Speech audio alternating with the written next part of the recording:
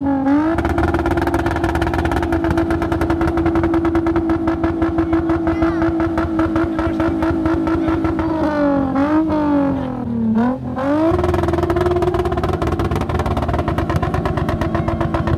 علیکم مرګرو محمد صفان یم او دا وخت موجود یم په سوات نوسي کې موجود یم د چارباغ آباد کې کوم سوات نوسي موجود د پای کې موجود یم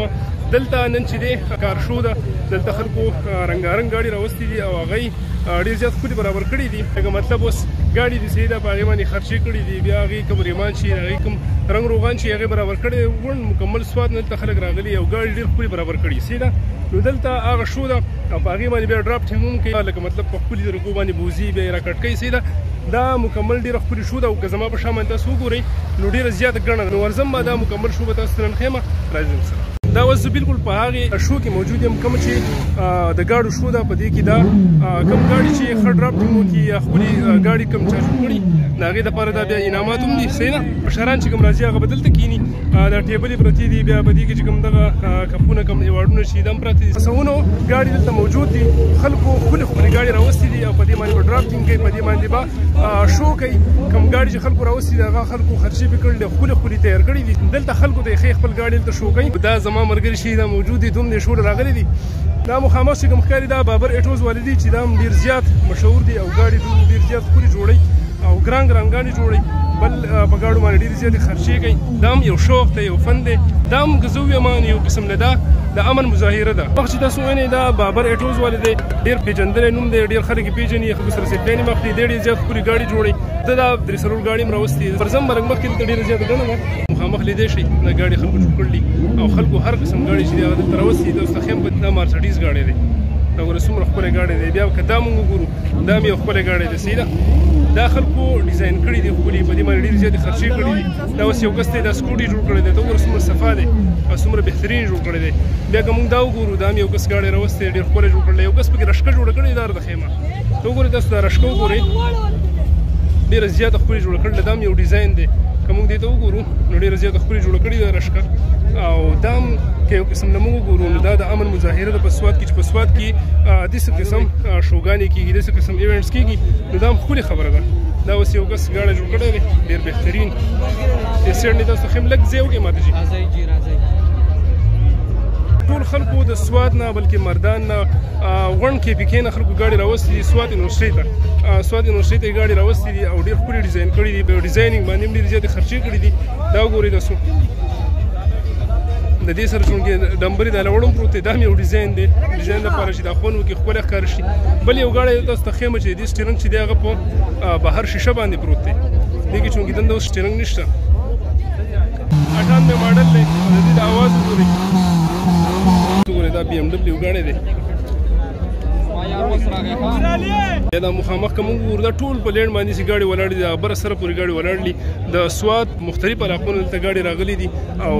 کلی ډیزاین شوی ګاډي دي کوم نوې دي بیا زړه دي تیار شوی دي سیدا او دلته دي سواد نو شته تر اوسې د خلکو ته د خو د پاره دا ګدي سي زه په دې کې راولم نو ډیر زیاته ګرانه بشي ځکه چې کم ګاډي نه دي په سونو ګاډي دي څو ګوري مخکې به دا چلونه شي په امریکا کې په انګلند کې بهر ملکونو کې به دا چلونه خلکو کول خو په پاکستان کې به بسواد کې خدا چلونه بالکل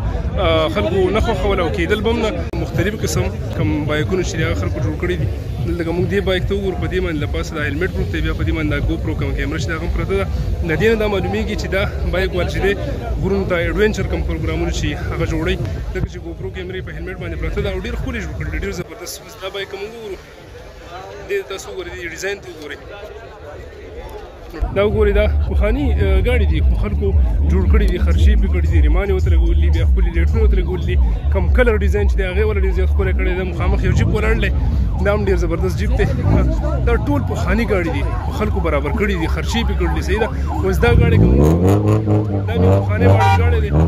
خو په دې باندې هم د خلکو شوق دی خوند دی بیا دا چې دا خو جاوید بای جان جیب ته صحیح ده د ماته زوی دی د هغه جیب دی دم خپل ګاډی د شور راوستی دی خلکو ته د خو دپاره کوم ګاډي ما چې خرچه وشي نو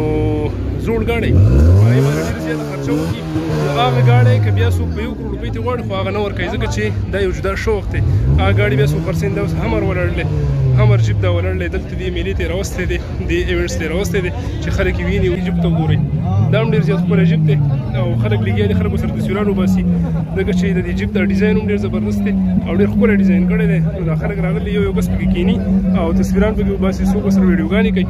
زما دا اواز به تاسو ته سبا نه راځي ځکه چې په دې کې ډیر زیات شور دی خلک هم سیوا دی ګاډي هم سیوا دی بیا د ګاډو د اوازونو هم سیوا دی د دې د وجې به زما د اواز تاسو ته نه دررسي خو زه به چونکې صرف دغه وکړم چې تاسو ته به دا ګاډي چې کوم دی دا میله دا به راته صرف خوښ یم د دې سره که دوه درې خبرې زما نه کېږي او هم ستاسو سره وکړم مونږ خو په دې دغه باندې راغلي چې په دې روډ باندې به ډرافټینګ کېږي او دا خویده به یو دا ټیرونه سرول به یې خو نه هغه قسم هیڅ غلط حرکتونه او دا قصې پیسې پکې نشته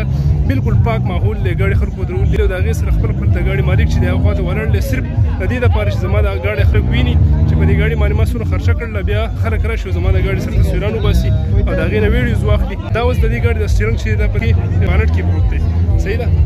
دا ګاډي هم ډېر ښکلی ډیزاین کړل بیا دا که موږ وګورو دا ګاډي هم ډېر زبردست دی دا که موږ مخامخ وګورو کوم دا لوګي چې خېژي صحیح ده کوم دا ګاډي چې دي کومه ګڼه چې ده او دلته چې په ګڼ شمېر باندې دا خلک راغلي دي د سوات مختلفو علاقو نه نو دا د امن پیغام ورکوي چې په سوات کې امن دی سوات ته هر کله راشي کم خلک چې د سوات سوچ کوي ذهن ته غلط سوچ راځي نو د هیڅ قسم څه نشته سوات ته هر کله راشي سوات د ګلونو ښار دی سوات ته امن کور دی سوات ته هر کله راشي دا مخامخ چې تاسو نن دا ګڼه یې نه دا بالکل د امن پیغام دی دا کار شو ده او بالکل د رولز خلاف پکې هم سکار نه کیږي ځکه چې په ځای باندې خلک خپل ګاډي ګرړی صرف هغه نه کوي نور هیڅ قسم ریسونه ویسونه پکې هم نشته خو صرف هغه کار شو د خپل ګاډي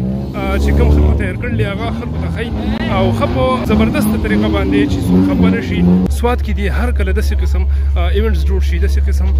پروګرامونه دي جوړ شي په دې باندې زموږ سواد چې د خپل ښکاری د ستاسو په یادو کې چې لکه دلته خبا قاعده د پولیس کم سکیورټي وال چې دی هغه راغلي دي دا شیخ د حکومت نه رجستر لکه مطلب د حکومت پر وردو کې دنده دا ګاډي راغلي دي سې دلته سکیورټي وال مو لړلي او خلک دې مطلب خوشاله کې هغه ډیر په امن سره دا شی کوي دلته دا ګاډي خلکو راوستي دا اوس محمد د ځوان لګي د خپل ګاډي باندې په خپل خامار ګاډي باندې شوړه وهي په دې هم ډیر زیات خرچه کړی دا خبرې نچول دا دی چې د څه قسم ایونټس موږ له پکار دي د څه قسم پروګرامونه موږ له پکار دي په سوات کې د هر کله داسې قسم ایونټس جوړ شي داسې قسم پروګرامونه دي جوړ شي ځکه چې دا د امن پیغام دی د سوات خلک امن پسند خلک دي دا و زمانه نه ولاګ د بل ولاګ پر خپل رور محمد اصف خان لور کې اجازه د لوی الله په امان